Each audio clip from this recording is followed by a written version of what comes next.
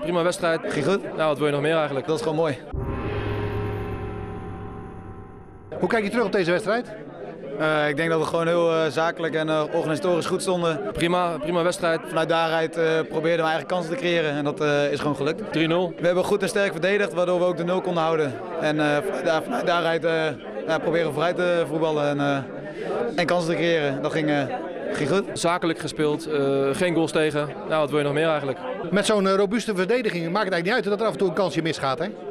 Nee, op zich niet. Het is natuurlijk wel jammer. Ik bedoel, het is altijd wat makkelijker als je voorkomt. Maar uh, ja, goed, uh, als je gewoon goed staat en de organisatoren staat het gewoon goed. Ja, dan komt die kans vanzelf en die doelpunt komt vanzelf wel. En uh, daar moet je dan gewoon wachten. Het zag er allemaal heel verzorgd uit ook. Ja, natuurlijk, het kan natuurlijk altijd beter, het moet ook nog wel beter. Maar als je ja, vergelijkt met vorig jaar, waar we vaak in het mes lopen en de counter worden geslacht, zijn we daar nu wat volwassener in geworden. Nou, dat is wel prettig. Was je trouwens verrast dat je uitgeroepen werd tot man of the match?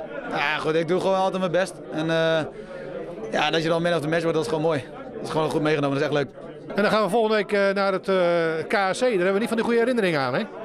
Uh, vorig jaar 0-4. Nou, toen begonnen we volgens mij dramatisch. Ja, moet je nou anders oppakken natuurlijk.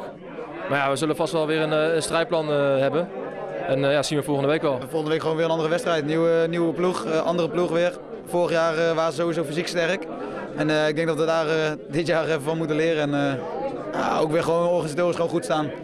Zodat we hier weer niks uh, doorlaten en gewoon de nul weer houden. En uh, vanuit daar weer verder zoeken. En nog even een prachtige wedstrijd aanstaande woensdag. Ja, woensdag nog even tegen Kuik. Het zijn uh, drie wedstrijden in zeven dagen.